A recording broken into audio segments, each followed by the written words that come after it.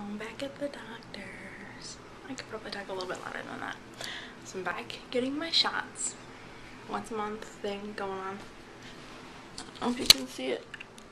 A little drop of blood. All done. But my appointment was at 1. Yeah, it's 1.30. Um, they got me here and they're like, oh, go whatever your vitals and check your blood pressure and your temperature and all that. So I do that and I go back out to the waiting room. You're not ready. I'm like, okay, so I'm waiting.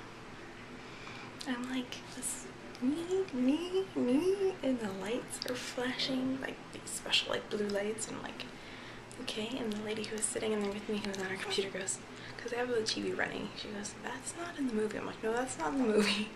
I was just kind of like, is this a real fire? Is this a fire drill? We're supposed to do something. Nobody else is moving. So um, we just sat there, and I just asked the lady now when I got back here. I was like, she's like, how are you? I'm like, well, I had a little heart attack out there when the alarm went off. She's like, oh, it was a fire drill for upstairs. She's like, they want everybody to participate in it, but it's snowing out. I don't know what I'm talking about. Um, they're all talking. I hopefully see. I don't. You can hear them, right? Hopefully they can't hear me in here like talking to myself. Unless they think I'm on the phone.